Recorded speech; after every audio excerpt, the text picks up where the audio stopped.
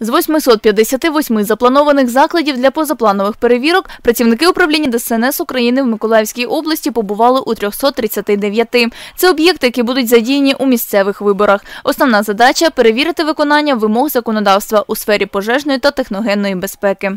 Під час проведення позапланових перевірок об'єктів, які задіяні в місцевих виборах, були проведені позапланові перевірки е, ЗОЖ 22 та ЗОЖ 46 Заводського району.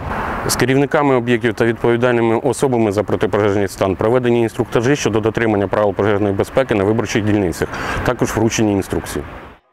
Зафіксували такі порушення: відсутність або несправність автоматичної пожежної сигналізації, незадовільний стан систем блискавкозахисту, несправність систем повіщення про пожежу, відсутність та несправність систем зовнішнього протипожежного водопостачання. Тетяна Макушева. Новини на Суспільному. Миколаїв.